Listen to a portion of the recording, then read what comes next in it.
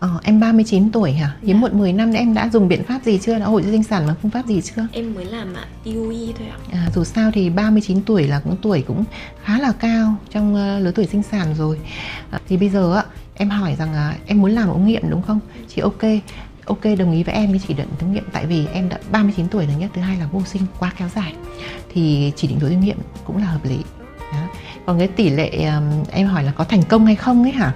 Thành công hay không thì cái tỷ lệ thành công của thủ tướng nghiệm ở phụ sản Hà Nội ấy, hiện bây giờ là khoảng 60 đến 72 phần trăm ờ, tùy từng cái lứa tuổi. Độ tuổi càng trẻ tỷ lệ thành công càng cao. Đấy.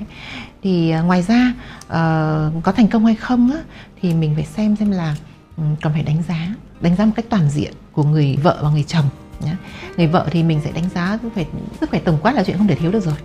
Ngoài ra mình sẽ đánh giá cái chức năng của buồng trứng. Xem buồng trứng còn hoạt động không hoạt động giảm như thế nào hay là, hay là suy buồng trứng rồi hay hoặc là cái giải phẫu của tử cung có vấn đề gì không hay vòi tử cung như thế nào có tắc không có ứ dịch không. Ngoài ra thì uh, phải uh, kiểm tra chồng em nữa nhé chồng em xem là ừ, cái chất lượng tinh trùng nào. Thế thì ờ, em cứ để cho bác sĩ kiểm tra cho em cho hai vợ chồng và có một cái chẩn đoán cụ thể. Ờ, trên cơ sở chẩn đoán đó thì sẽ đưa ra cái phương pháp điều trị cho em nhé làm sao mà vừa hiệu quả lại vừa kinh tế uh, cho hai vợ chồng để bớt được cái gánh nặng kinh tế.